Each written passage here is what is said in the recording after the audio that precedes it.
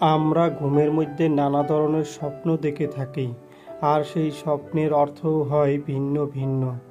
আজকে আমরা আলোচনা করব স্বপ্নে যদি কেউ হলুদ দেখতে পায়, তাহলে সেই স্বপ্নের কী অর্থ হবে?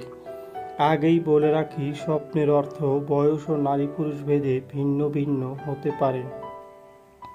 কেউ যদি স্বপ্নে দেখেন হলুদের গাছ তাহলে ওই ব্যক্তি নতুন কোনো কাজের সূচনা হবে এমনটা বোঝায় যদি কোনো ব্যক্তি স্বপ্নে দেখেন কাঁচা হলুদ, তাহলে ওই ব্যক্তি অবিবাহিত হলে তার কোনো সম্বন্ধ আসতে পারে।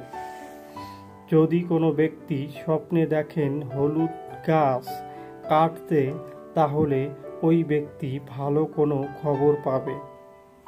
যদি কোনো ব্যক্তি স্বপ্নে দেখেন হলুদের ফুল, তাহলে ওই ব্যক্তি হঠাৎ কোনো টাকা পয়সা পাবে।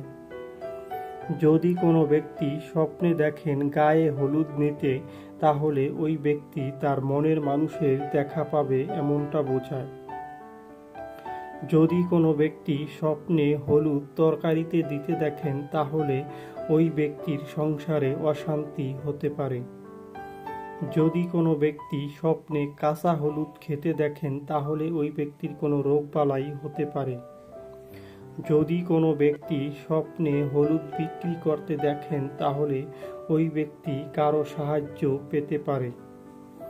যদি কোনো ব্যক্তি স্বপ্নে হলুদ কিনতে দেখেন, তাহলে ওই ব্যক্তির অকারণে কোনো টাকা পয়সা অপচয় হতে পারে। যারা যারা আমাদের ভিডিওটি দেখেছেন, তাদেরকে অসংখ্য ধন্যবাদ। সবার কাছে অনুরোধ থাকবে আমাদের চ্যানেলে নতুন হলে আমাদের চ্যানেলটি সাবস্ক্রাইব করে আমাদের পাশে থাকার জন্য।